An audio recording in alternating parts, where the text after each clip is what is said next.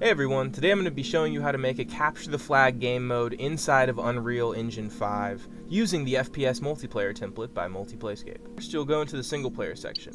Here you'll see all of our default game modes, but we're going to be creating our own custom game mode. And I'm going to call this custom capture the flag. I'll leave this at 600, 0, and 300. For a maximum players, let's do 32. And let's actually have three teams.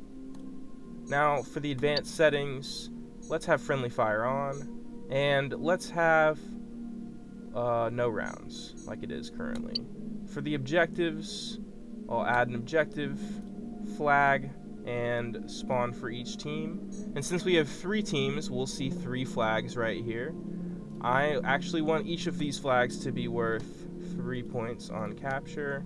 So I'm going to go and change them all to 3. Next for the AI, I'm going to do autofilling. And for player abilities, uh, let's just make the ground be a little bit more slippery. A little less uh, ground friction. Let's change that to 40. And for the HUD, everything looks good.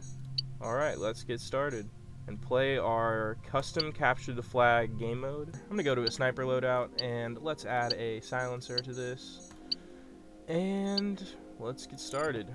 As you can see we've got our orange team flag right here that we're defending, blue team flag over there, pink team flag that way, slightly reduced ground friction, I can feel it on my character and uh, let's go capture an enemy flag.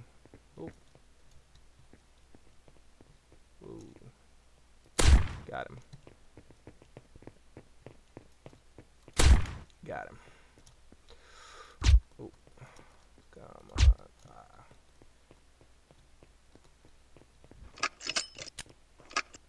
Alright, let me get this thing captured.